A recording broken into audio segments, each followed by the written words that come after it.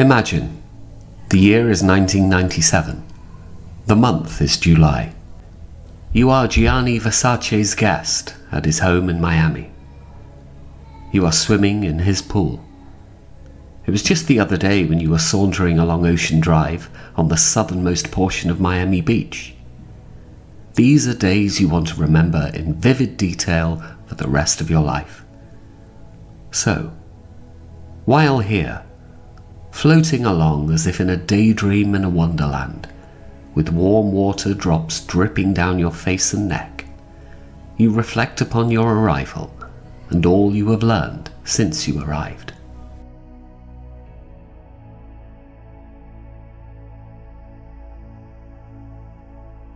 To your side, you see a portion of grass that leads to a low coral wall. On the other side is the brilliant white sand that leads out to the beach, with warm waves gently rolling in from the Atlantic Ocean. To your left are Miami's world famous small scale Art Deco style hotels, many of which date back to the 1920s and 30s.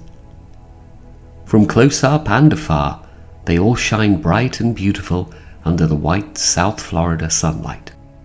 When you reach the area near the northwest corner of 11th Street and Ocean Drive, you stop and see swaying palm trees, a white stucco wall, and portions of a black iron fence. The wall continues behind evergreen bushes and trees. Looking up, you see the only private residence on Ocean Drive. It is called the Casa Casuarina. As you likely know, the Casuarina is a variety of Australian pine. Legend has it that there was one standing on the site when this structure was envisioned in the late 1920s. The Casa Casuarina was built in 1930 by the architect, author, and philanthropist Alden Freeman. He was born on May 25th, 1862, in Cleveland, Ohio. He earned a Bachelor of Science degree from the New York University in 1882 and a Master of Science in Architecture in 1887. He was unmarried but had an adopted son. His name was Charles D. Bolton. Alden Freeman had a lot of money that he did not earn on his own. That was because his father, Joel Freeman, was treasurer of the Standard Oil Trust. The incredible fortune he inherited allowed him to become a well known and well respected philanthropist. Legend has it that he had a rather fertile fascination in everything associated with Christopher Columbus. In fact, there are amusing stories that from time to time Mr. Freeman used to dress up in costumes to look like the famous explorer. Mr. Freeman's intense interest even influenced the design of the Casa Casuarina, which is said to have been inspired by the Palazzo of Columbus's son. The Alcazar du Colon Santo Domingo was built in 1510 in what is now the Dominican Republic. From afar, there does not seem to be many, if any, similarities between the two structures whatsoever. But either way, the inspiration was there. Most of all, Mr. Freeman envisioned a bohemian enclave where he and his adopted son and other family members could live and where their friends could comfortably stay for extended periods of time.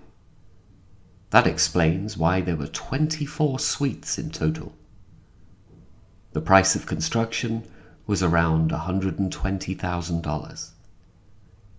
An additional $1 million was spent before it was completely finished.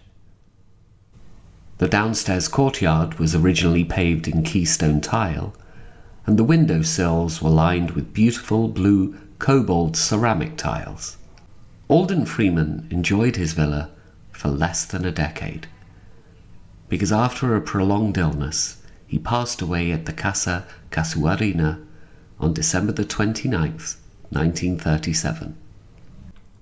Mr. Freeman's son soon sold the villa for a $100,000 to a gentleman named Jacques Amsterdam the new owner repurposed the Casa Casuarina into an apartment complex, turning each bedroom suite into a separate unit for different residents.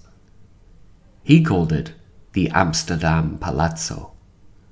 At the time, one room apartments were rented for $250 a month.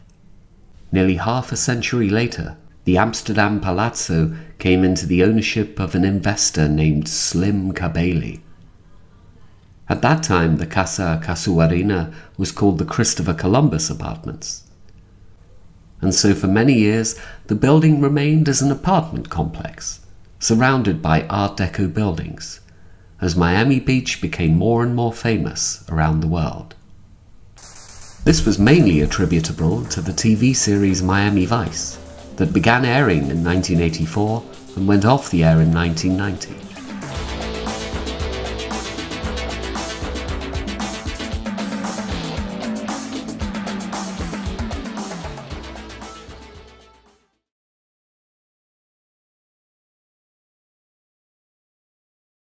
Fast forward to 1992.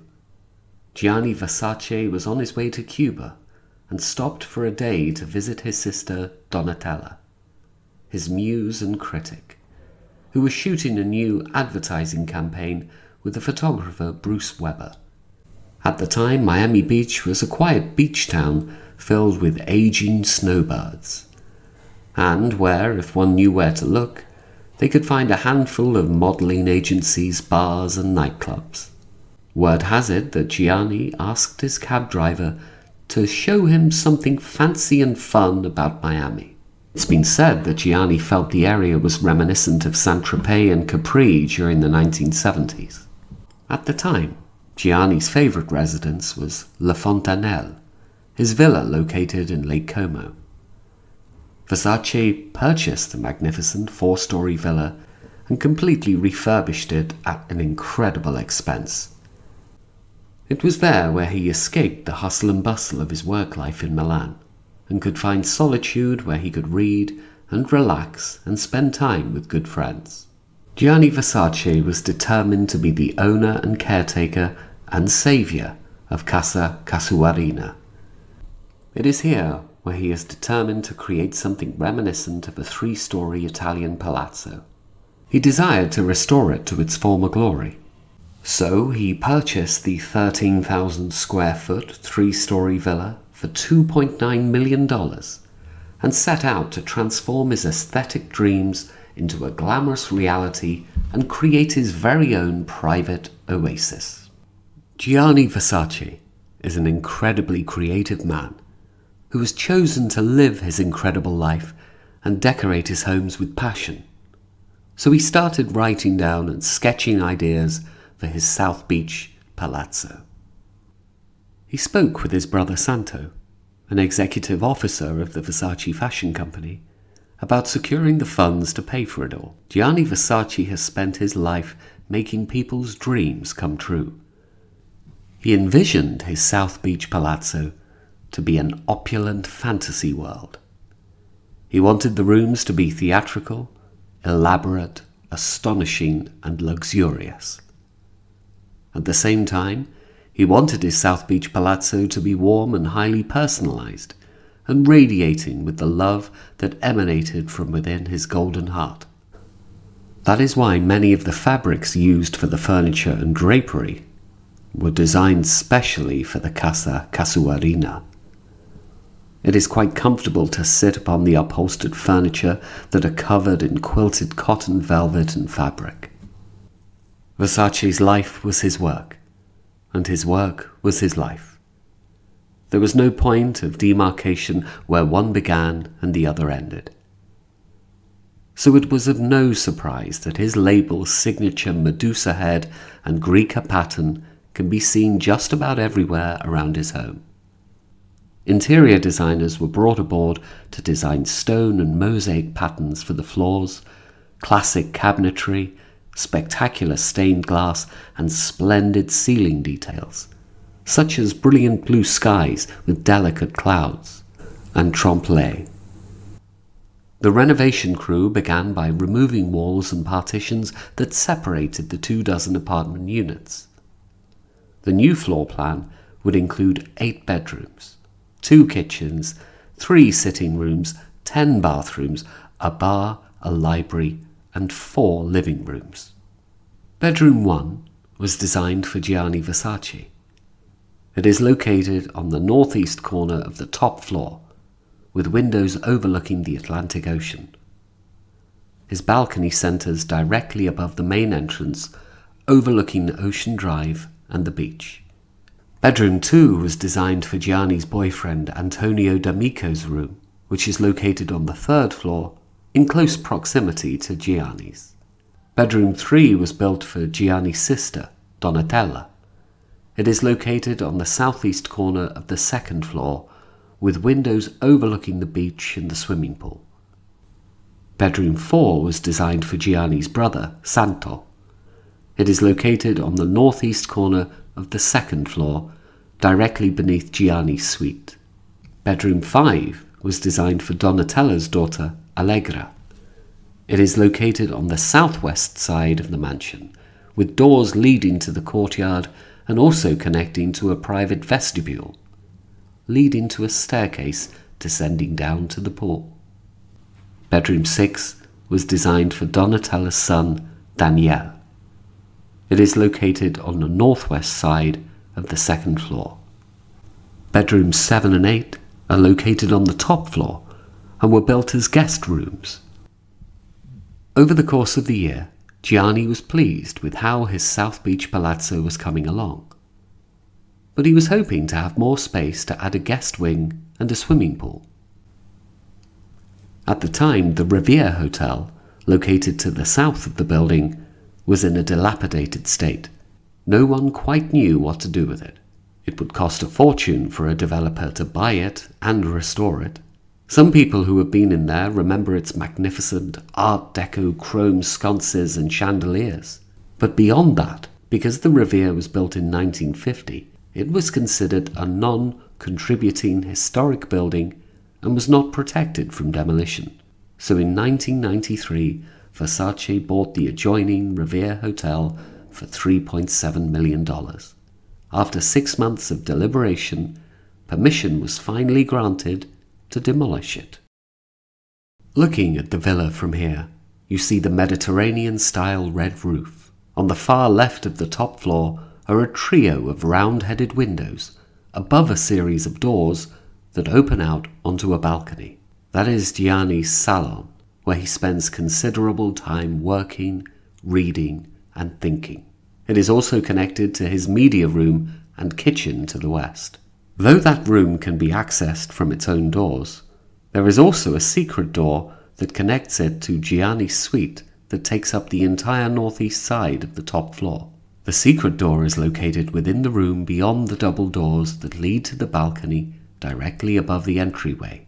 The set of four windows to the right are for Gianni's dressing room. Beyond that is Gianni's bedroom. Directly below these windows are a set of square headed windows and a set of doors that open out onto a balcony. That entire space is the sitting room of Gianni's brother Santo. On the far left of the second floor is a set of doors that open out onto a balcony and a set of three stained glass windows that match ones along the south facade of the building. This entire space is the sitting room of Gianni's sister, Donatella. On the far left side of the ground floor are the spectacular stained glass windows that allow sunlight to shine into Gianni's dining room. To enter the Casa Casuarina one must begin by walking up the coquina steps that lead down to the sidewalk along Ocean Drive. The soft limestone of broken shells has often been used in road making in the Caribbean and Florida. On each side of the entry steps are large gold colored pots where palm trees and evergreens thrive in the warmth and simmering sun. Each prominently display the head of Medusa, a Greek mythological figure the logo came from the floor of ruins in the area of Reggio Calabria that the Versace siblings played in as children. At first blush, it seems to be an unusual choice for Gianni to choose for his company's logo, because even though she was originally a ravishingly beautiful maiden and drew the attention of Poseidon, it was an enraged Athena who transformed Medusa's beautiful hair to serpents and made her face so terrible to behold that the mere sight of it would turn onlookers to stone. At closer consideration, however, one learns that Versace was inspired by the pre monster Medusa, who symbolizes power, strength, and beauty. The logo's head is encircled by a ring of Greek keys. This is less symbolic, but represents the labyrinth from the story of Theseus and the Minotaur in Greek mythology. Upon reaching the top of the steps and passing through massive iron gates, your eyes fall upon a bewitching bronze statue of a kneeling Aphrodite, the Greek goddess of love. It was Alden Freeman who commissioned Yugoslavian sculptor Vuk Vuknic to create it in 1928. The statue was originally located in the courtyard, but then moved to the front entrance. Legend has it that Gianni first saw this sensuous statue while walking along the sidewalk, and it was then that he saw the house and took a tour of the property. Looking up, you see the immense double doors made of wood, surrounded by a hefty frame of coral brought in from beneath the waves of the ocean off of South Florida. Looking down, you see the red river stones embedded into the space surrounding a colorful tile mosaic of geometric shapes. Looking up, you see a gate hovering above that seems as if it just may come crashing down in front of you. You step inside, past elegant black and gold gates, and into what appears to be a portico, but what is actually the central pedestrian entrance. To your left, you see what appears to be a broad, round piece of metal displayed upon the wall. In the centre is the image of Medusa.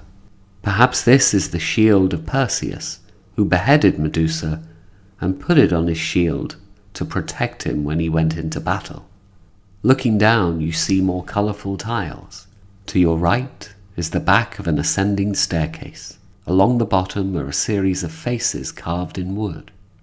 Continuing forward, you step upon four steps until you reach the elevated platform with a mesmerizing multicolored mosaic on the floor.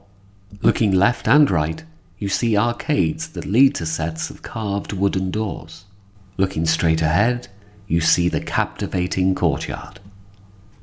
It is a rare experience in the United States to enter a residential courtyard such as this.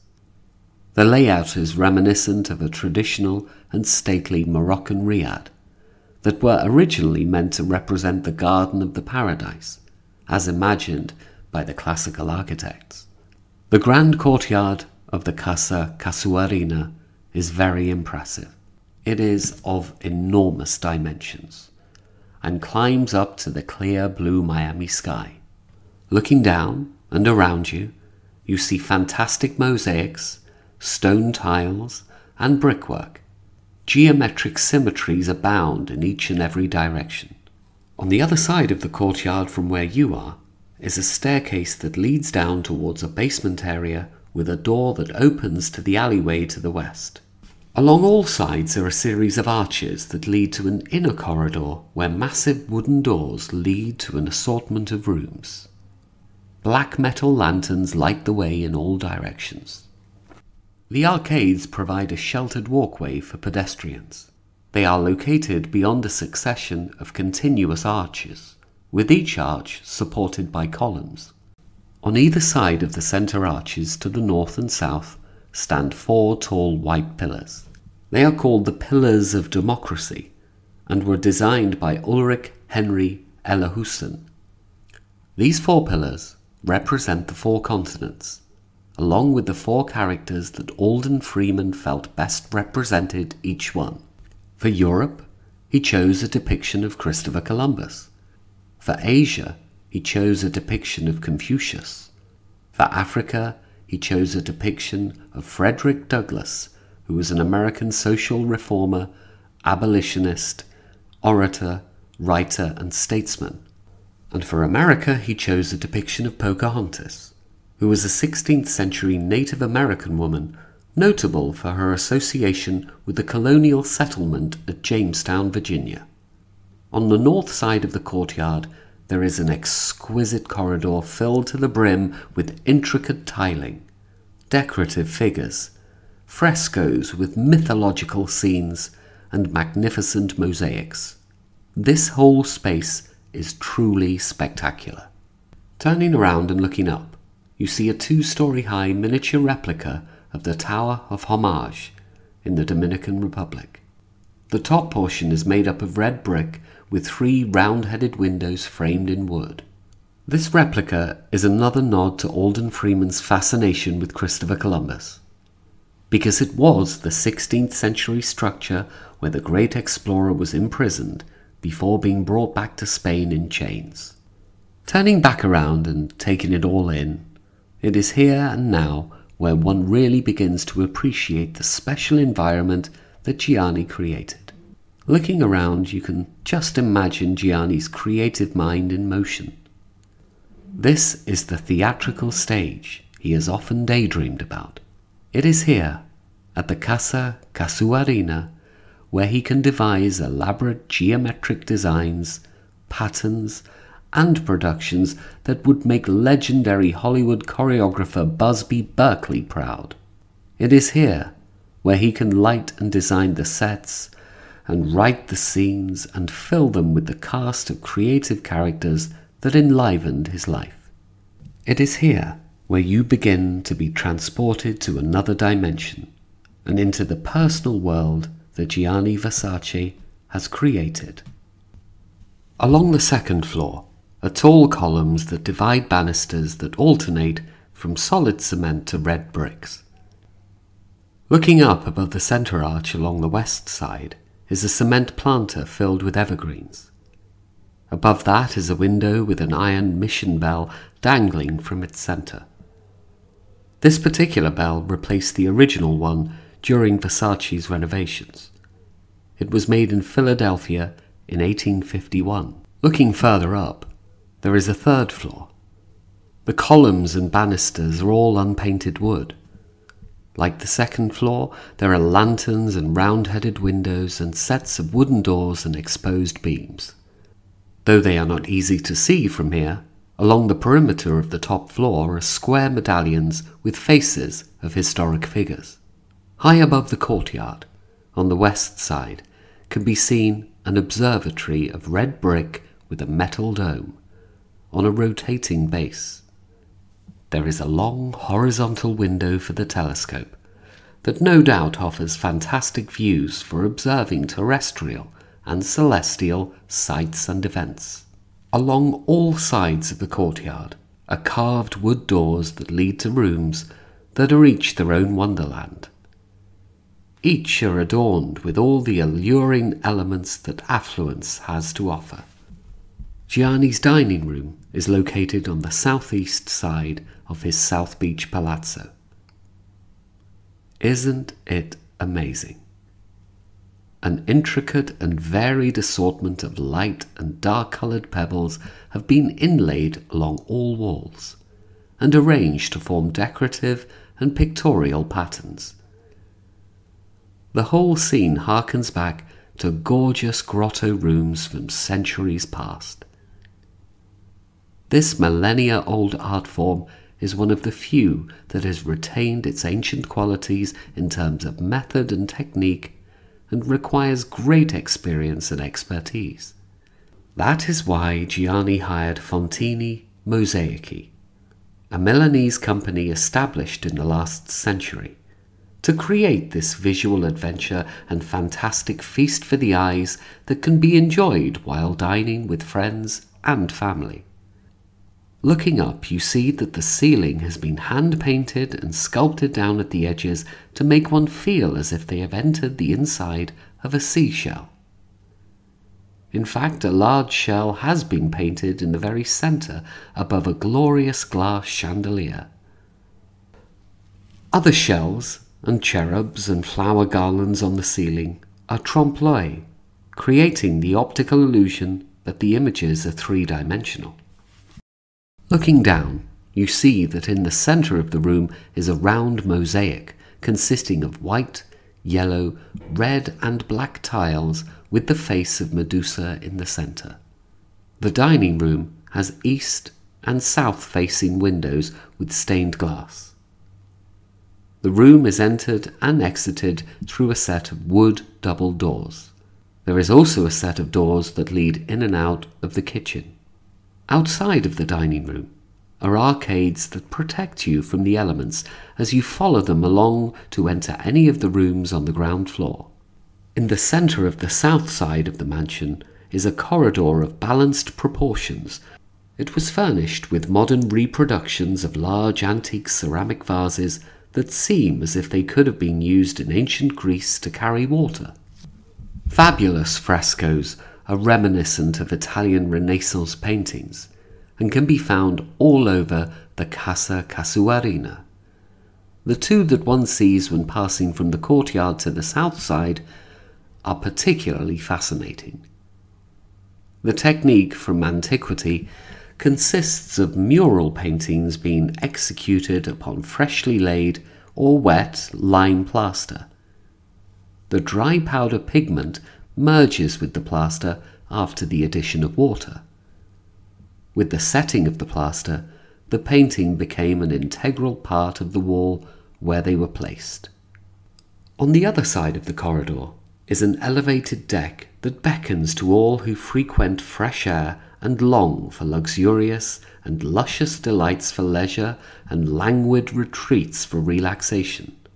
Indeed, it is a very tranquil environment.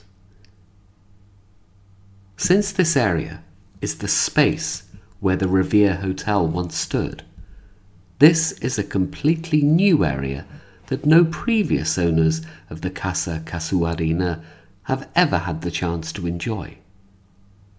The deck has a rounded black iron balcony with golden Greek key and shell designs and a Medusa face in the centre. Looking down, you see that the vibrant geometric patterns transformed the entire floor into a beautiful surface. It is here where Gianni and his friends and family socialize and enjoy meals beneath the canopy. From this deck, are two winding stairs lined with tile designs that descend down to the magical mosaic garden. At the base of the stairs is a mosaic depiction of two mermen, the mythical male equivalents and counterparts of mermaids. In this design, their human parts, from the waist up, are made up of light beige coloured tiles, while their scaly fish tails are made up of white, grey, and blue tiles. Stepping down from the low platform at the bottom of the stairs, you find yourself at the edge of the mosaic garden. There are four grassy areas where one can sit or lay directly upon it, or on large towels or blankets, or upon reclining chairs. The grassy spaces are framed by tile and pebble mosaics in the shape of circles, squares, and triangles. In the center is a design of a golden twisted rope framing Versace's famous Medusa face logo. To the south of the mosaic garden is what can only be described as one of the most dazzlingly designed swimming pools most people have ever seen. It is 54 feet in length from east to west. Looking down beneath the crystal clear aqueous surface can be seen what has been reported as over 1 million glimmering, shimmering mosaic tiles, many of which are 24 karat gold. This is an oasis. Legend has it that the mosaic tiles were inspired by Versace's marine Veneta print seen on his silk scarves. Once again, the lines are blurred between Gianni's personal and professional pursuits. This is a breathtaking masterpiece. It is the ultimate theatrical set. one almost wonders if at any moment an elaborate choreographed musical production will begin with large numbers of spellbound showgirls swimming and splashing in a kaleidoscopic fantasy fashion.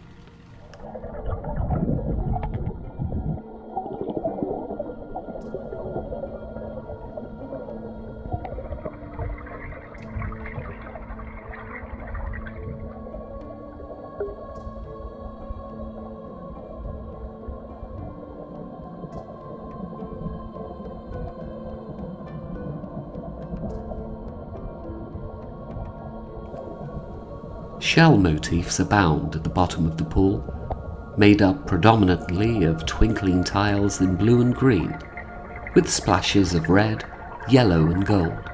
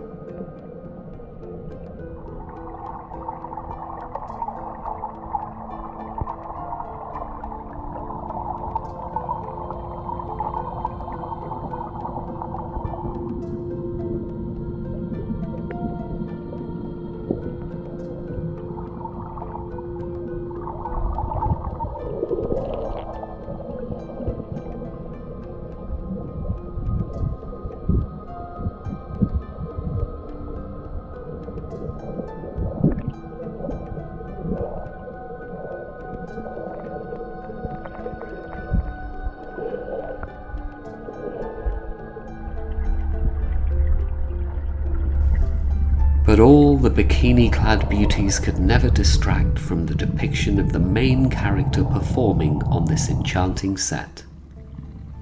That would be Neptune, the god of the sea. He has taken his Olympian worthy place at center stage where all gods, goddesses, heroes, and creatures can see him overseeing his divine domain.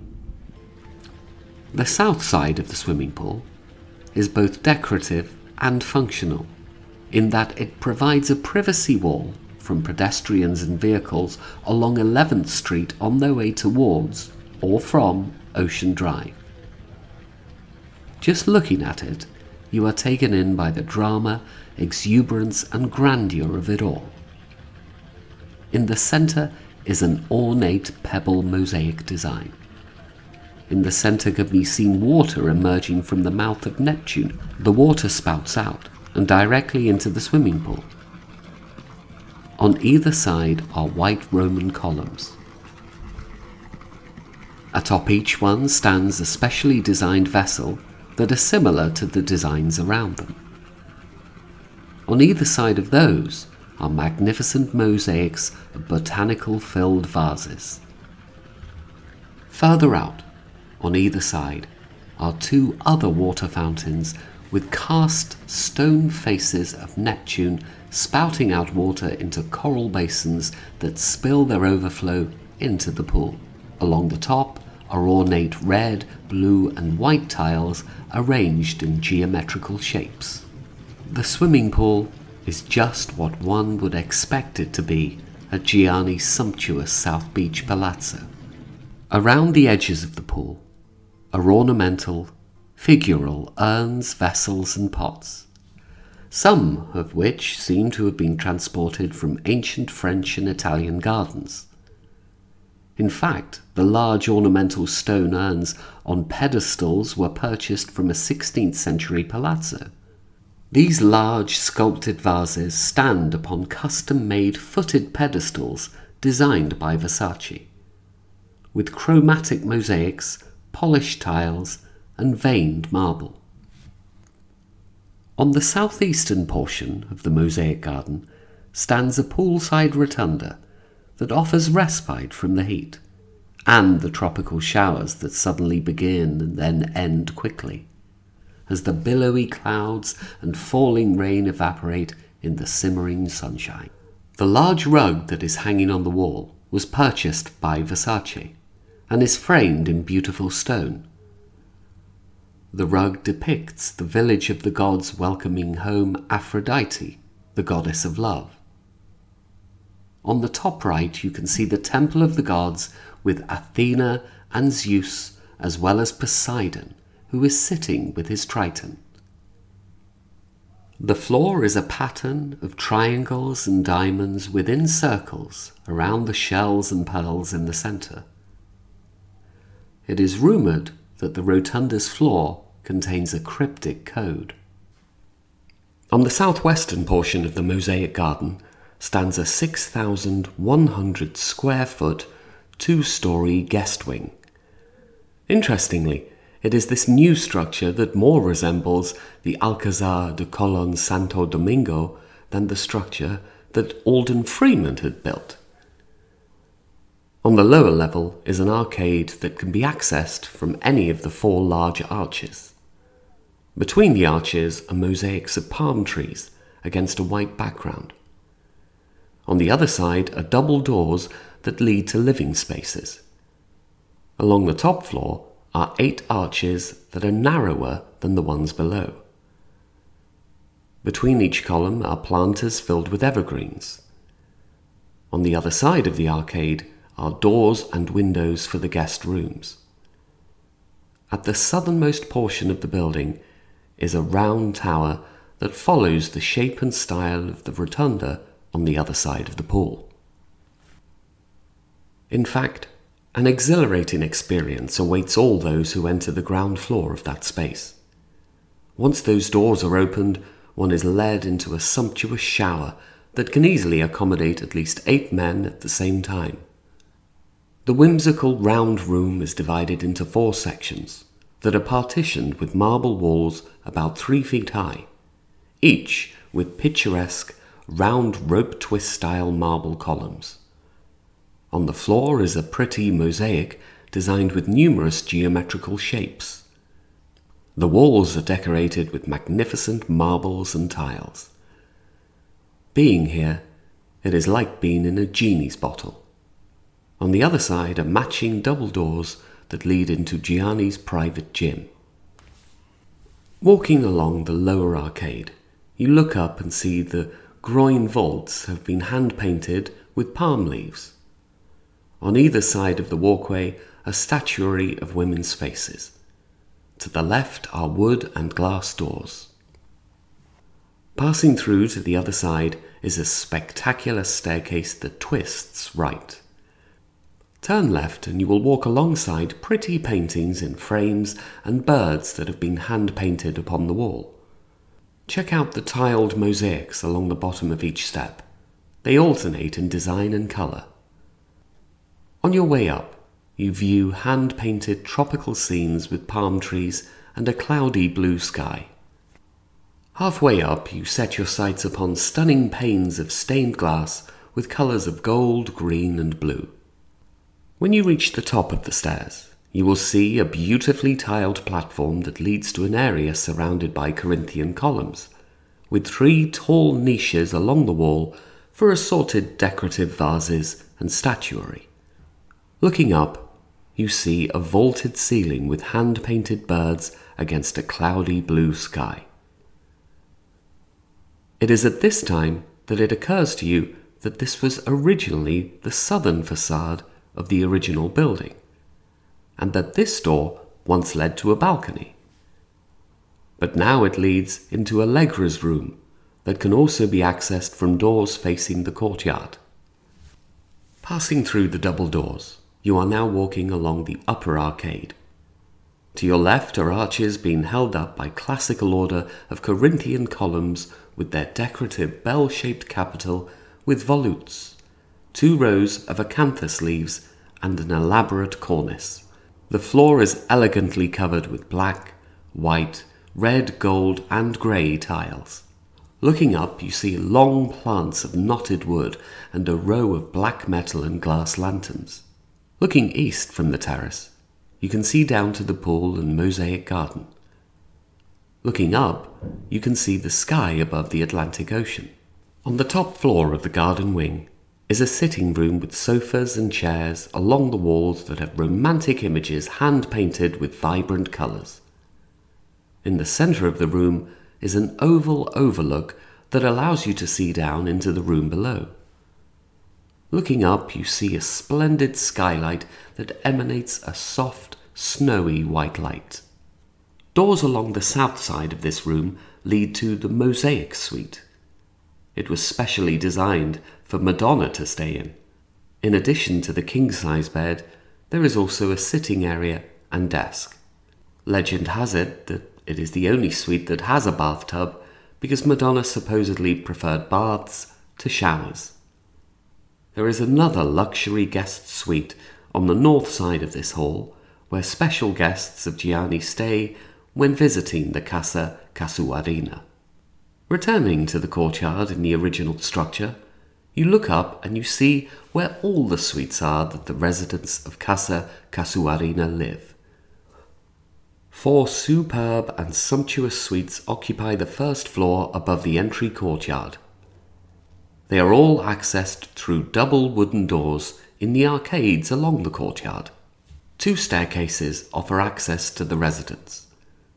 One is located beyond the entryway to the east, and the other is on the direct opposite side to the west.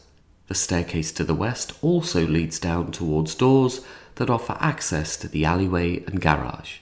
Walking up the stairs offers many surprises, such as exquisite tiles, noble busts, enigmatic medallions, stunning stained glass, and sublime stone vases perched on the walls. Everything is different from everything else seen elsewhere, and quite a number of the surprises add to the mystical feel of the South Beach Palazzo that you have been fortunate enough to explore.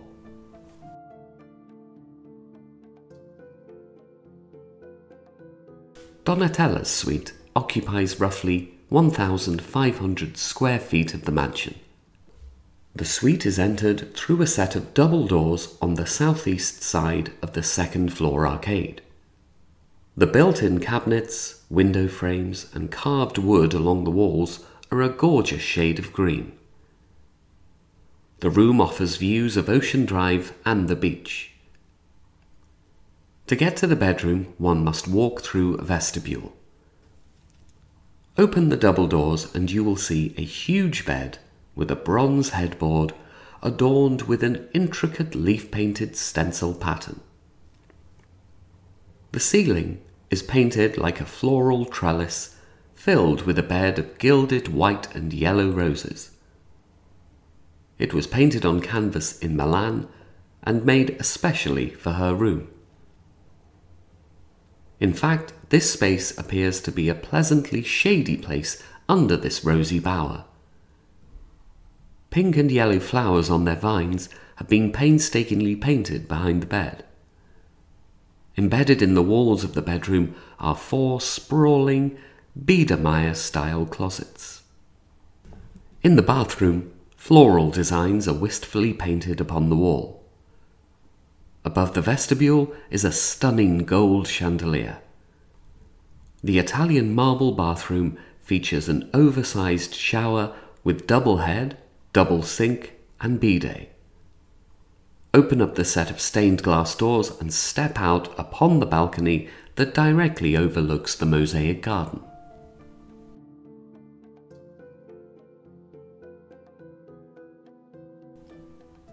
On the northeast side of the South Beach Palazzo is the room created for Gianni's older brother. Santo's suite has a more masculine scheme look than the others. One enters it from double doors on the northeast side of the arcade facing the courtyard. Upon entering, you find yourself in a mahogany panelled sitting room that overlooks Ocean Drive and the beach. Santo's sitting room features custom Versace velvet upholstery. The suite's bathroom has white marble walls and a floor tiled in shades of gold and white.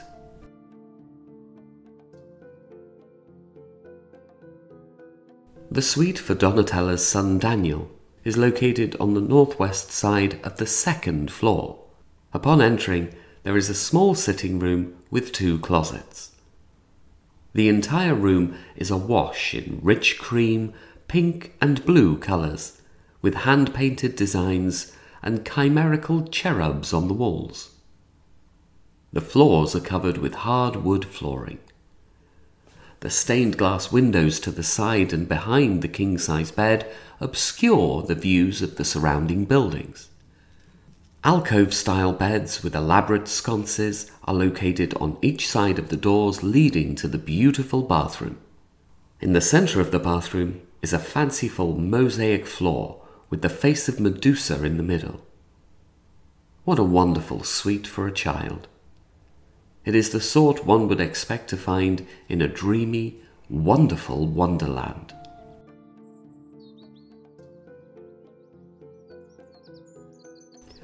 The suite for Donatella's daughter Allegra is located on the southwest side of the courtyard. The winsome suite is entered through two double doors with stained glass in shades of pink and purple. Upon entering, you find yourself in a sitting room with sofas, desks, and an ornate chandelier above.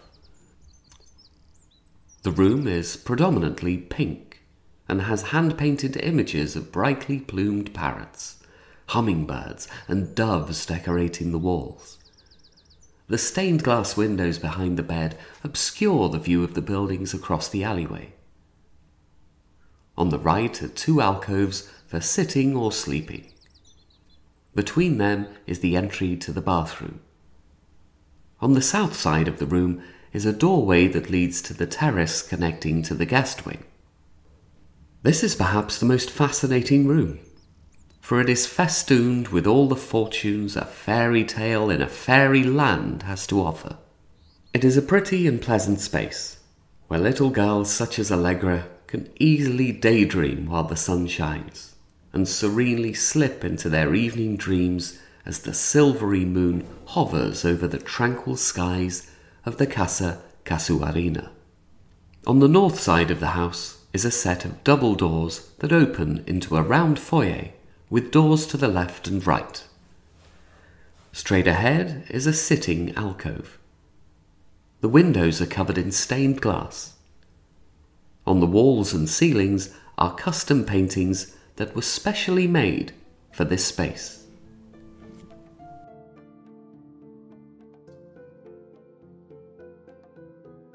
Passing through the double doors on the north side of the room, you enter a blissful sitting room with a bounty of gorgeous gold and blue satin coloured sofas.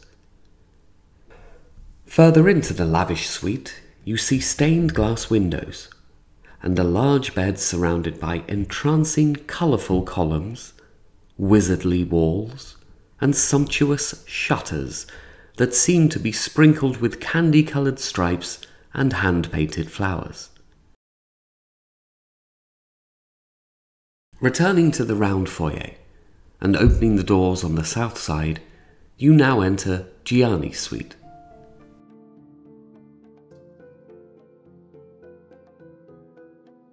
The nearly 1,200 square foot suite takes up the entire northeast side of the third floor of the mansion. You enter a room designed with rounded corners.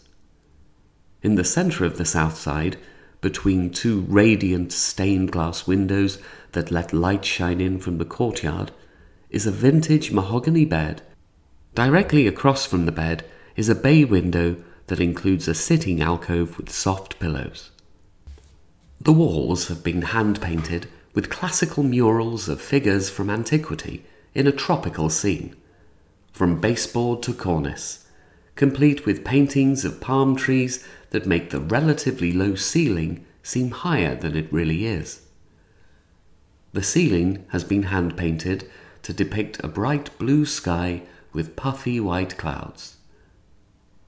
Continuing to the next room, you enter Gianni's dressing area of unstained mahogany with ebony accents to showcase a portion of his valuable art collection. On the far left is a door leading to a balcony. The bathroom is clad of Italian marble and has gold, double headed shower fixtures and a bidet. Turning right, you see numerous beautiful closets specially designed to store Gianni's beautiful clothes. In the next room is a sitting area with a balcony that offers a view of the Atlantic Ocean. It is here where Gianni often stands in his silky soft robes and lets the steamy air seep into his lungs and pores and soothe his spirit and senses.